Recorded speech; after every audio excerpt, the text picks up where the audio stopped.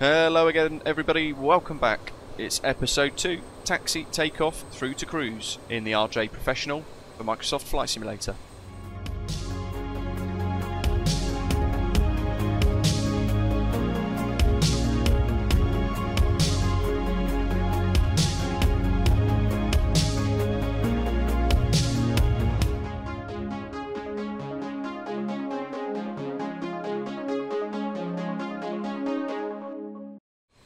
So, welcome back. I hope you found episode 1 particularly useful. Uh, share your thoughts, as always, in the comments below. If you do enjoy these and you're new to the channel, I'd love it if you chose to press that subscribe button, but it is, of course, always up to you. And give us a little like as well.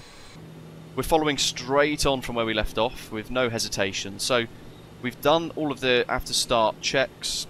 Uh, what we're now going to do is taxi, take off, and then work all the way through to cruise.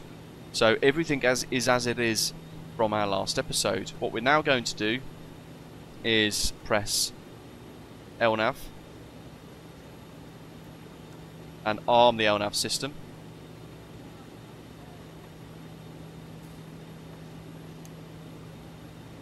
And we're going to arm the auto throttle. Now I'm going to release the brakes, make sure those taxi lights are on, and increase the throttle a little bit just to get us moving. Little dab of the brakes.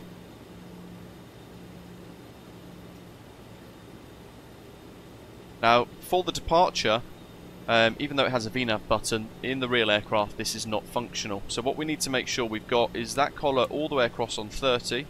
That's our bank angle limiter, really important. And uh, when we take off a little later on, you'll see we'll revert into level change mode in order to power the um, cruise effectively.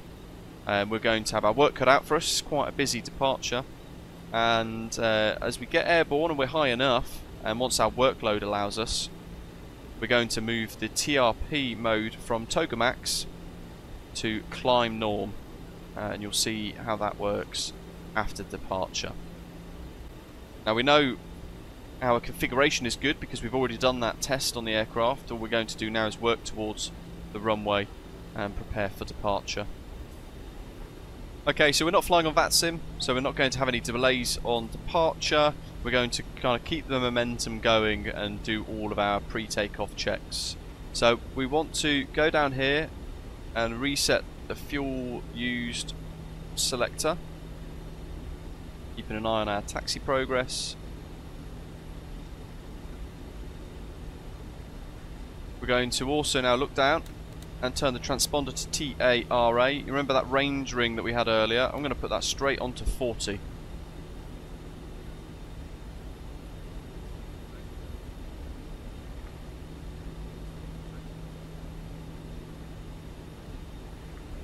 And we're going to put the weather radar on as well.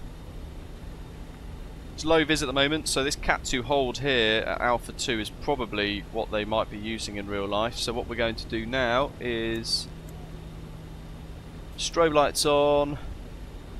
Work through the rest of that. That all looks pretty good.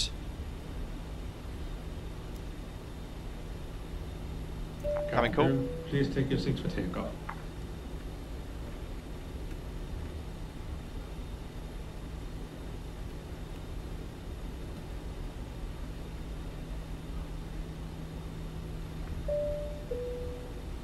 Cabin is secured to departure. Lovely. Lining up.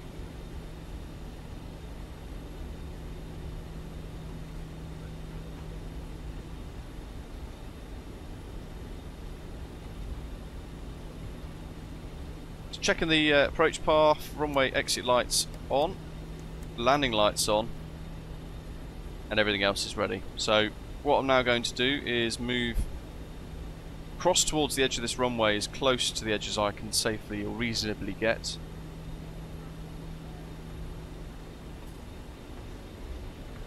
A little bit of brakes just to slow us down, ready for this nice tight turn.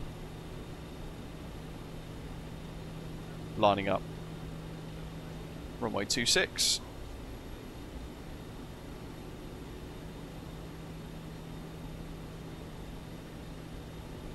Alright. So this is where the toga button comes in really handy. You can see how I've got my throttles set up.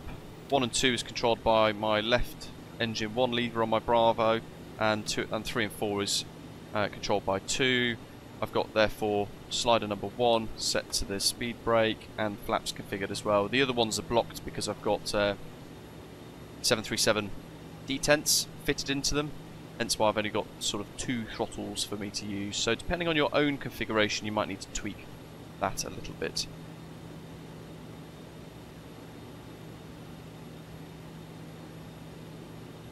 So, we're going to advance the throttles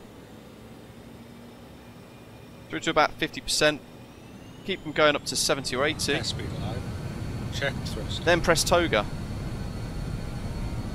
Thrust set.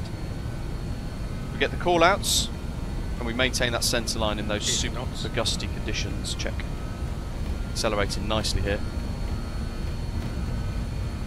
Here we go. Go. Rotate. We get a little uh, master warning there. Positive climb. Positive climb. Gear up So go gear up. Chase that flight director. Keep an eye on it. This handles wonderfully in manual flight. LNAV 1's flashing, so it's picking up now as an active mode.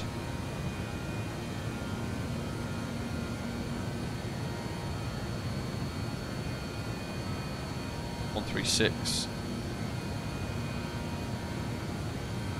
Level change. Just going to select that and go to power mode climb. Letting the nose come down. Wind that to 180. We'll start that left turn now.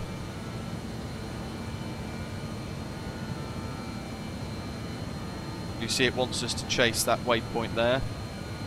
Very tight. So we'll keep it going, otherwise we're not flying the profile correctly. 099 degrees is going to be our next uh, kind of turn point. And with that, we're going to have to do a direct 2.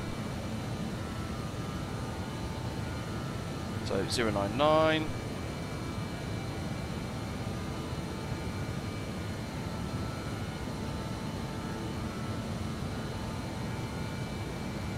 Out gently.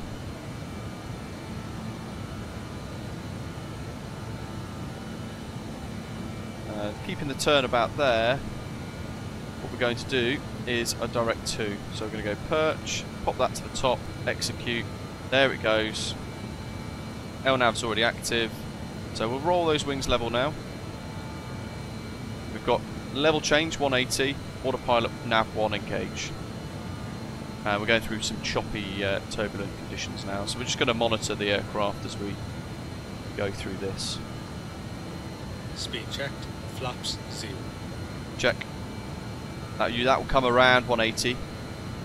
We'll keep her accelerating now. We'll aim for 250. Or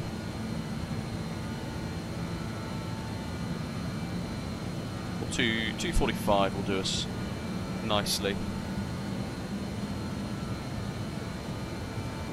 We can increase the range on our nav display. There's Perch and Lucet. And then up here now, as we get further up, we can go engineer online.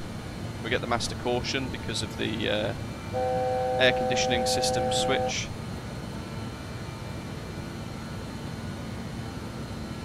APU air off, APU off, continuous ignition off. And we're going to monitor all of this uh, as we get a bit further into our climb.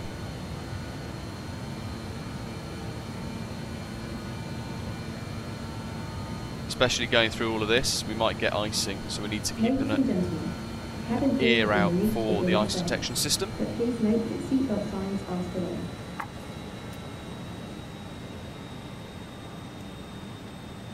You can see there the weather radar now online is picking up a whole lot of weather. So we're levelling off at 5,000. You'll remember from the charts, uh, Lucet level 5 there.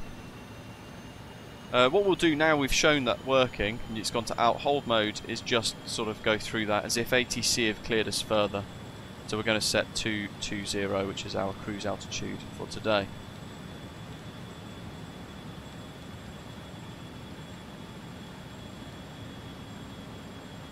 So we go back to 220, level change, Uh, and QNH 1013 is standard pressure, so we're going to select that.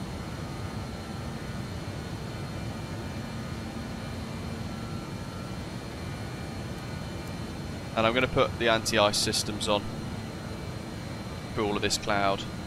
As we turn through each waypoint, we want to make sure we align the heading mode selector with the direction of travel as well. Really important we do that. And that climb norm is good. So we've got flaps up, gears up, no lights. Everything is working as it should, and the amber on the uh, weather radar is rather ominous, isn't it? So we'll leave the seatbelt signs on for now. We can turn the runway exit lights off. Wing lights can stay on. They're going to be super important for today in checking uh, for any ice buildup on the engines and the wings and things. This is rather horrendous weather. Hopefully when you fly this you have a slightly easier time, but this is what Flight Sim is all about, isn't it? Certainly that breakout through the cloud later, hopefully, is going to look pretty immense. Next waypoint's coming up, so we're just going to turn accordingly. With the heading mode selector switch ready. And as we get nearer to 10 and uh, we go through the acceleration phase, we'll be able to move that IAS mode selector up, turn the landing lights off, and go into our next phase of climb. pop that on standby now, we don't really need it. I think we might be breaking out momentarily by the looks of it. Oh yes.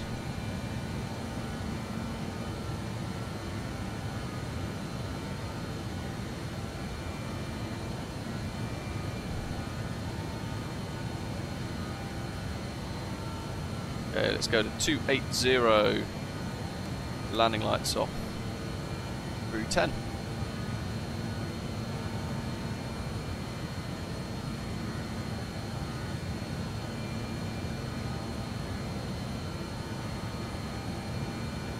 So level change mode for climb, vertical speed mode for descent. I'm going to increase that range ring again to uh, 80 now. See top of climb at Coton.